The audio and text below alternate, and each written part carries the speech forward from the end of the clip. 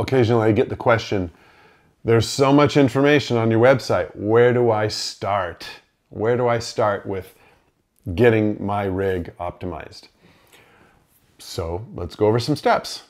While I do have a video that I filmed quite some time ago on the basic setup steps involved in optimization, um, it worth, it's worth repeating and perhaps even updating a little bit here.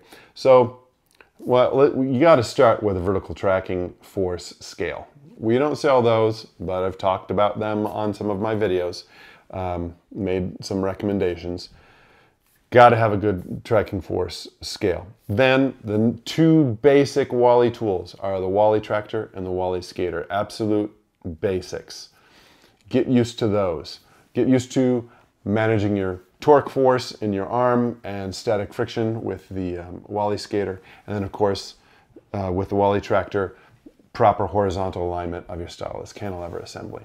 Following that, you might want to play around with the Wally reference to get an idea of where your head shell is at relative to the record surface, or jump straight to sending the cartridge to us for analysis.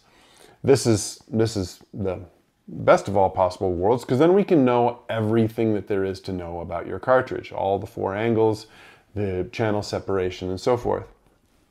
And, uh, and then from there, you can employ the necessary tools like the Wally reference, and if you've got zenith error, 81.7% chance you do, and it's audible, uh, uh, then the Wally Zenith. The Wally Scope, when people call me about the Wally Scope, my first reaction is try to talk them out of it. um, I tell them, look, for one third the cost of a Wally Scope, you can send me the cartridge for analysis, and we'll know a lot more about the cartridge than the Wally Scope will tell us. Um, but there are some people who want to own it. They think it's cool. They've got lots of cartridges they want to take a close look at, do the stylus inspection and so forth, and that's fine. But um, it's, it's, not, it's not an everyman's tool, that's for sure. Spend some time watching the many educational videos on our website or on our YouTube channel.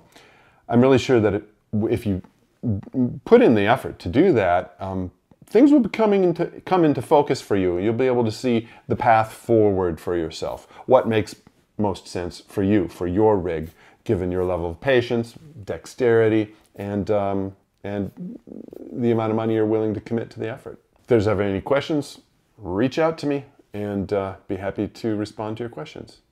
So until next week, on the next Soundbite video, see you then.